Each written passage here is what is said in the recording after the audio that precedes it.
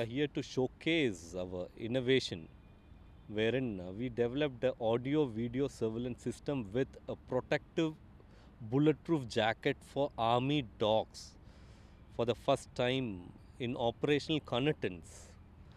Uh, this is uh, something very useful practically for us. We have been into it quite a some time. We have been working strenuously over it.